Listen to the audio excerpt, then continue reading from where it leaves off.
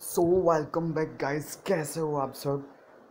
बहुत अच्छा लग रहा है आप सबको फिर से एक वीडियो शेयर करते हुए। जैसे कि मैंने बोला था कि यार गॉलिम इवेंट आई है। सो so, गोइप इवेंट मेरी ख़त्म हो गई है। अभी ख़त्म हुई है। और आपने देखा था कल मेरा 141 एक्स भी था और आज मेरा 142 आ गया जो 40 फोर फोर फिफ्टी हाँ 450 मुझे एक्स मिला है। और 90 जेम्स मिले।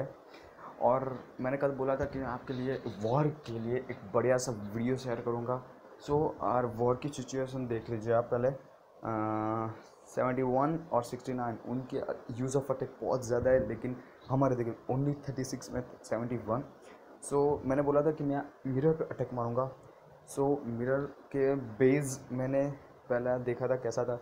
तो it is anti hog and anti lavaloon so I think ये बेस पे माइनर काम कर सकता है। तो पहले मैंने सी सी की रेंज लेती तो सी की रेंज आराम से बाहर आ सकती है। हॉक से तो मैंने बेसिकली क्या किया प्लान में सात हॉक्स लेके गया हूँ और thirteen archers and all miners so चार हिल्स पर वन रेज रेज इस ट्रूप्स में आर्मी में किंग क्वीन होना बहुत ज़रूरी है क्योंकि अगर सीसी नहीं मरा तो आपका अटैक फेल है।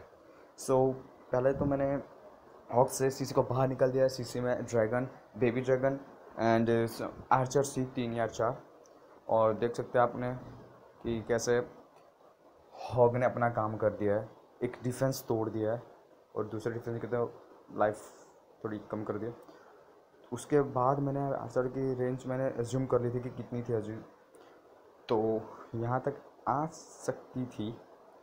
सो so, यहाँ पे मैंने पॉइजन डाल दी जिससे बेबी ड्रैगन और आर्चर और ड्रैगन की स्पीड कम हो जाए और आगे मिनियन स्प्रेड करने के बाद मैंने पीछे आर्चर क्वीन रख दिया। इधर से मैंने किंग रखा है थोड़ा बेस क्लियर करने के लिए और टाइम ज़्यादा नहीं जाते हुए मैंने पहले टाइम को देखा उसके बाद मैंने माइनर यहाँ से आर्मी कैम्प से स्प्रेड कर दिया जो आर्चर टावर अभी जो डिस्ट्रॉय कर रही है।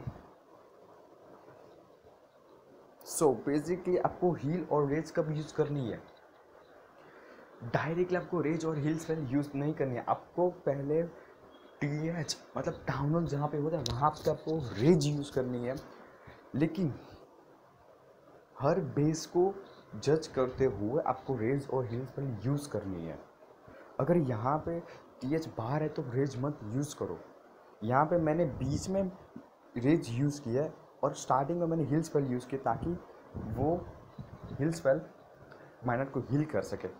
सो so, मैंने माइनर दो पार्ट में डिवाइड हो चुके थे इसलिए मैंने दो बार हिल स्पेल यूज़ कर ली एक लेफ़्ट साइड और एक राइट साइड सो क्वीन थोड़ा बेस यहाँ से क्लियर करी थी किंग मर चुका था। और देखो अब देख सकते हैं कि बीच से मैंने रेड्स यूज़ की ताकि air defense inferno tower and X bows clear हो जाए और ऑल्सो हिडन टेस्ला सो जैसे ही मैंने रील्स पर लगी, उसके बाद मैंने हील्स पर रख दी क्योंकि हील को करना बहुत ज़रूरी है और एक एक्स्ट्रा हील थी जो मैंने एक्सपो के पास रख दी, जो दो पार्ट में डिस्ट्रॉय आई मीन डिवाइड हुए थे। अगर आपकी स्पेल गलत वे में जा रही है तो आपका अटैक फेल हो जाएगा। तो आप देख सकते हैं बढ़िया तरीके से माइनर ने अपना काम कर दिया है। अभी उनकी एबिलिटी बाकी है। यहाँ से थोड़ी, मैंने आर्ट से स्प्रेड कर दी थी पीछे से, ताकि बिल्डर क्लियर हो जाए।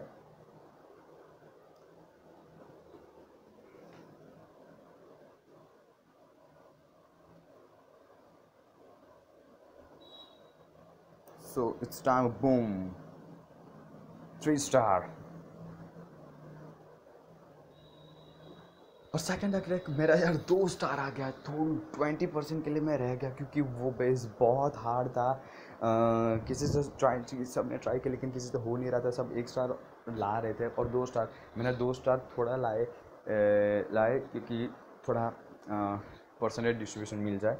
तो बेसिकली मैंने यहाँ से पहले हॉक स्टार्ट किया कि क्लैंक की रेंज देख ली और उसके बाद यहाँ पे एक कैनन थी। तो मैंने कैनन से एक, ये कैनन डिस्ट्रॉय करने के बाद हॉक्स अंदर आ गए। सो कैनन के enemy troops I mean cannon के एनिमी ट्रूप्स बाहर आ गए। सो ड्रैगन बेबी ड्रैगन और बलून निकले हैं। जो उसको अभी कैसे डिस्ट्रॉय करना है? तो जैसे मैंने बेस रेडी किया था, मैं यहाँ से किंग रखूँगा, थोड़ा क्लियर करने के बाद। और पहले से यहाँ मैं एनिमी क्लैन कैसल के चुट को मारने के लिए यहाँ पे मैं आर्चर और आर्चर क्वीन रखूँगा। सो so, यहाँ का मैंने देखा कि ये बिल्डर हट डिस्ट्रॉय हो चुका है। तो so, यहाँ से मैंने एक आर्चर रख दिए ताकि सारे क्लैन के एनिमी यहाँ उसको मारने के लिए आ गए और मैंने यहाँ से ही पॉइजन रखनी स्टार्ट कर दिया ताकि बेबी और ड्रैगन की स्पीड स्लो हो जाए और उनकी हेल्थ भी। आगे मैंने आर्चर और मिनियन स्प्रेड कर दिया है जिससे क्वीन को डैमेज ना हो सके। बलून तो यार क्या ऐसे ही मर गया है। अब यहाँ पे मेरा टाइम थोड़ा ज़्यादा ना जाए, इसलिए मैंने एक या फिर दो माइनर स्प्रेड कर चुके हैं। एक माइनर मैंने गलती से यहाँ से डिप्लॉय कर दिया था, जो आर्चर टावर के टारगेट में आ जाता है। या यू कैन सी दैट और एक यहाँ पे जो आई मीन माइनर स्प्रेड ना हो जाए। सो टाइम कम होते हुए मैंने सारे अब माइनर स्प्रेड करने चालू कर दिए थे। यहाँ पे क्विन की लाइफ बहुत कम है तो मैंने स्टार्ट कर, उसकी एबिलिटी भी यूज़ कर ली थी। सो so, यहाँ से मैंने चालू कर दिया माइनर डिप्लॉय करने का और यहाँ पे मैंने हिल स्पेल दो पार्ट में डाल दिया एक यहाँ पे और एक यहाँ पे। अब बारी है रेड स्पेल की अपना काम करने की।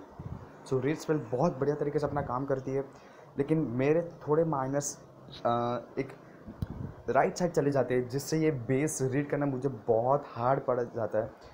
सो so, मैंने तुरंत एक प्लान बना दिया कि यहाँ पे मुझे हील स्पेल यूज़ करनी है क्योंकि आई थिंक कि सारे माइनर्स यहाँ पे जाते हैं क्योंकि सब माइनर्स यहाँ पे थे और ये डैमेज हो चुका था। तो आई थिंक सारे माइनर्स ये क्लैन कैसल को क्लियर करने के बाद यहाँ पे चले जाएँगे। लेकिन नहीं जो बच्चे कुछ थे आई I मीन mean, दस या नहीं बहुत ज़्यादा बोल दिया। आई मीन आठ या फिर ऐसे राइट साइड चले गए तो मैंने मुझे उनके लिए हिल्स पर रखना पड़ा है। सो so, अगर सारे यहाँ चले जाते तो मेरे पास एक एक्स्ट्रा हिल्स पर आ जाती। तो ये बेस आराम से मैं क्लियर पर कर देता। But it's a hard luck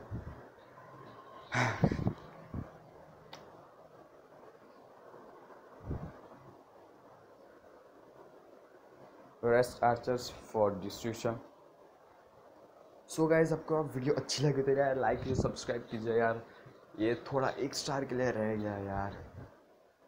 सो अगर आपको वीडियो पसंद आएगा तो प्लीज़ लाइक कीजिए सब्सक्राइब कीजिए मेरी चैनल को।